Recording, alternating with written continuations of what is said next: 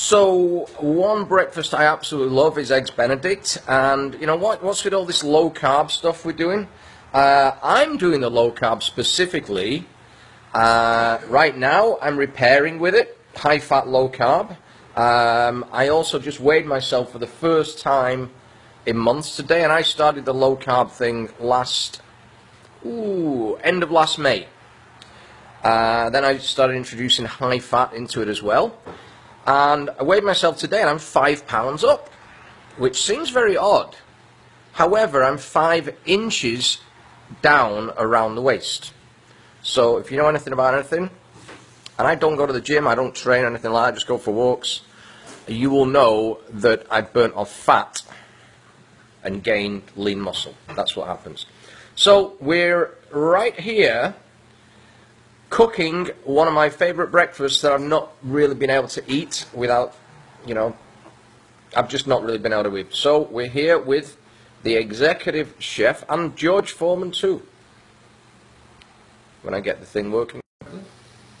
Here's George. Oh, actually, it's not George Foreman. It's George Foreman's grill. Yes. Now, if you've got one of those laying around that you've not used for a while, here's a great tool for it. So, with the executive keto chef, Gary Trahey once again, and what are we? Where are we up to? I know we've Okay, got. well, I decided to break out my George Foreman because I know everyone has one somewhere. And you know something, George Foreman is a great, uh, the George Foreman grill is a great product. You know, you can just do it right in your house. It's easy, it's fast, it's even heating, and it also, you don't have to go out and use your grill for this. Because what we're doing is we're making an Eggs Benedict that's just done a little bit differently. Normally, traditional Eggs Benedict is done with um, English muffin, Canadian bacon, poached egg, hollandaise over the top. Very, very simple, very easy. I really enjoy doing things a little bit different. So this is the portobello mushroom that I have, and I've been um, It's two, surely. excuse me, two portobello mushrooms, very large.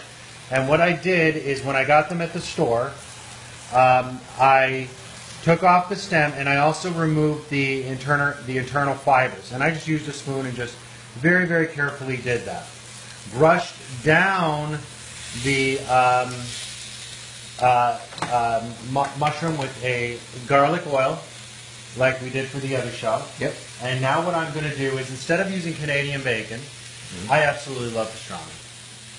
So this is a complete variation, totally different for a um, for an eggs Benedict. It's, So, it's not that we have anything at all whatsoever against Canadians. We have to clarify that they're wonderful people. love Canadians. Uh, Keep sending the bacon over. Exactly.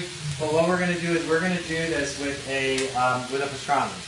So what we're going to do is I'm just going to kind of leave it open a little bit, and then what I'm also going to do is I'm also now now this is my boiling poaching water, and what I did is I got this really really hot, and I added in a little bit of salt and a little bit of white vinegar. And and that is just going to season the water so that way the egg will have just a wonderful um, a little bit of a vinegar taste. And that just really actually believe it or not really improves it. Just to go back onto the, uh, just to go back onto the mushroom. Why do you remove the fibers and stem? Is there because in fact number one they, they end up that i don't like them. I think they taste like crap and you don't you don't need them Okay. There you have it from the executive keto chef. They taste like crap. Okay. and so you don't need those fibers in there so all i'm doing is i'm just heating up this um, And you're cooking this on an open grill. I'm just cooking this on an open. I started off with that. Once I get that on there, when you're dealing with pastrami or corned beef, you don't really want to cook it. All you want to do is you want to heat it up. And to be able to do that, I'm also going to take a few little shrimps and I'm going to throw those on there. This is a really um, an interesting way of doing a Are those- an eggs benedict. Are those peeled? Oh yeah, they're peeled and, and deboned Okay. and they're very, very nice. And don't forget, Tony, we also have a um, a bacon hash that we made, and everyone can see that on one of our uh, Well, you you eat the bacon and I'll smoke the. Oh, never mind. Doesn't matter. Okay, and then I just have a little bit of cilantro Oh, for a little garnish because I love cilantro. I And love also, cilantro. I also have an avocado right here. By the way, guys, if you're watching in the UK, cilantro in the UK is called coriander. I was gonna say I thought it was called coriander. Yeah, coriander, not coriander seeds, coriander. So, avocado, just take your knife very, very carefully, give it a little bit of a whack, and give it a, a little bit of a twist, okay? The seed will pop right out, and you have that right there. Just as a waiver, guys, if you get injured doing that, it's your own fault. Exactly. So, and then what I'm going to do is I'm just going to slice down my avocado. Show, show what you're doing there. Okay. Just going to slice it down like that. Yeah. Get some nice slices going. And uh, let me see, what happened to my spoon right there? And I'm going to take my spoon, I'm going to grab this spoon as well. And I'm going to take my hot fluid and I'm just going to go right over the top of the eggs and start doing that. So you do not want to get your water on a boil. Okay. Um, poached eggs, you want to keep very, very light, very delicate. So you're on a medium heat. I'm on a medium heat. I started off with a bit of oil, and then once I added in the eggs, I just let it on a slow cook. And it's gonna it's gonna be bubbling, but it's not like if it's bubbling where you have a lot of stuff going around, you're you're going way too high. So, guys, if you've got any questions for Gary, this is live. So just type them on the stream, and we are making low carb eggs. But this this is just getting like we got the shrimp, we got the portobello, we got the pastrami, we got the eggs, we got. Damn. This is like I said, this is just a variation of it. You can do it traditional, but why do traditional? You know, if you're going to do traditional, then you might as well have the English muffin. Yeah, that's the challenge. Is it's the muffin that kills it. Yeah, the muffin is, uh, and I love English muffins, and I love traditional eggs Benedict. But you know something, we have to change and and do things better. Unless I can come up with a way of making an English muffin that's completely no carb. I'm sure you probably can. So we're going to let this continue.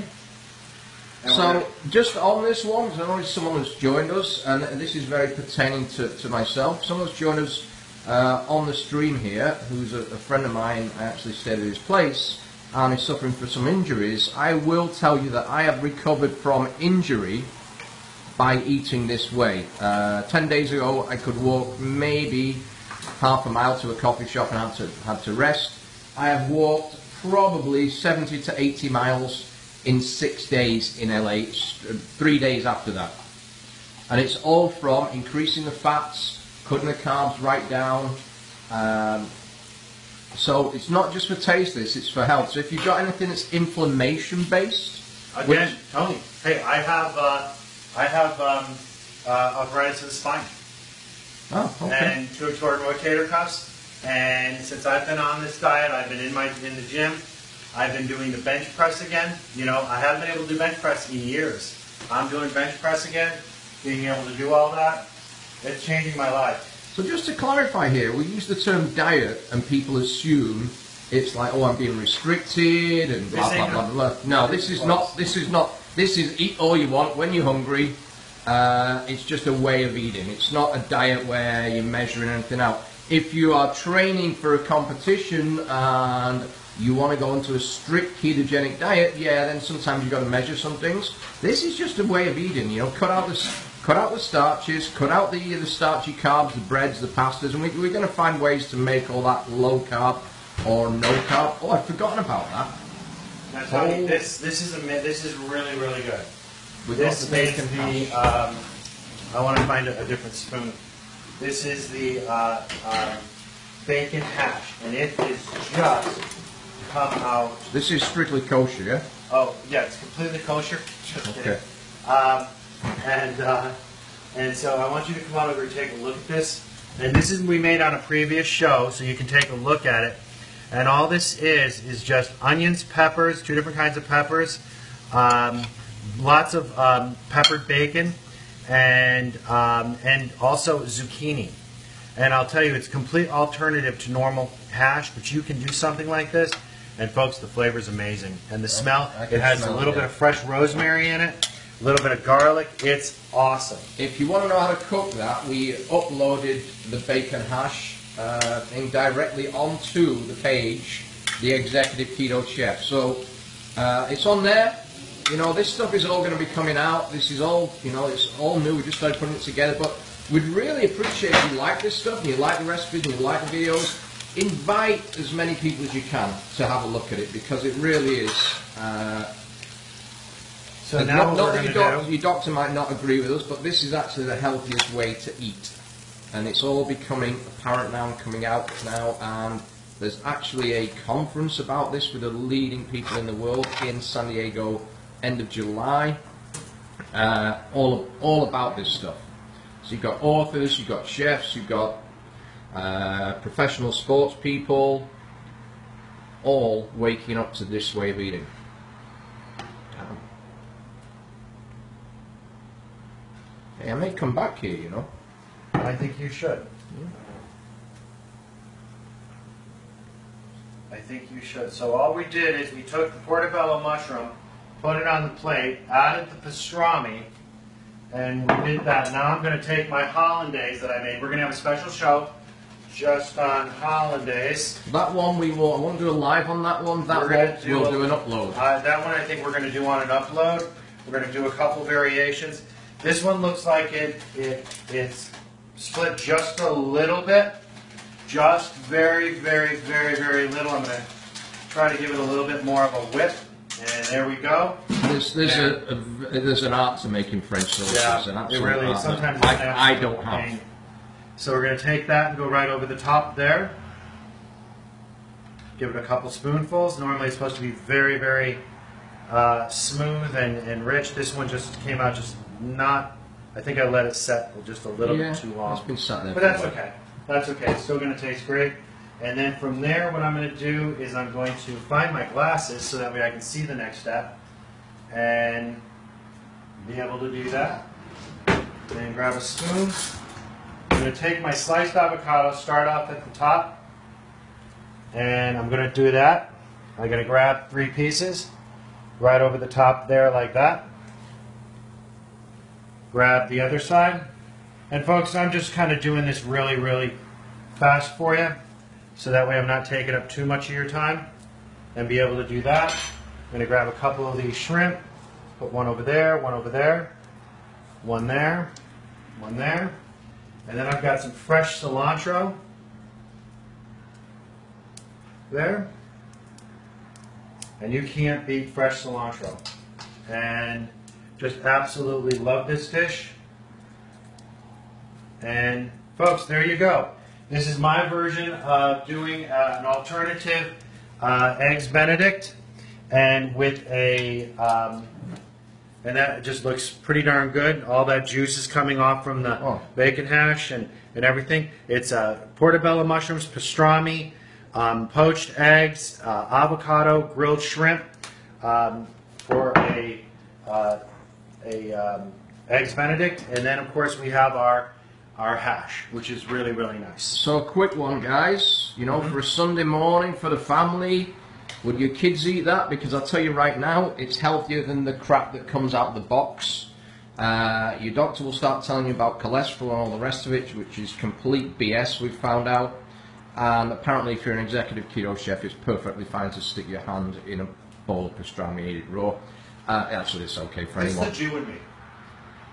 So, from wine country, from wine country, we're fueling up before we go out and visit some wineries today. Yes, sir. Okay, I hate being called sir, you know that. Sorry. Um, and we may have a glass of wine or 20. I was gonna say, I think more like twenty. Right, okay. So the videos may get a little entertaining, and as usual in my videos, I really don't care. If it's funny, it's worth doing. So, from the Executive Keto Chef, uh, appreciate if you like the page, share if you like, Like this the stuff. page, share it with your friends. We're gonna have tons of cooking. We're gonna do tons of different series too. If you like this video, and this stuff, I'm, I'm going to get off here because this is just too good. If you like the video, share it out there, guys. I mean, it's for sharing, it's for getting the message out there, it's a way to eat. So if you don't want any families or anything like that, you don't know how to, you know, don't know what to make that's healthy for the family, this is ideal. Just share it out there. So, guys, Oh, on, let's eat. all right. So from here, we're out of here. Adios.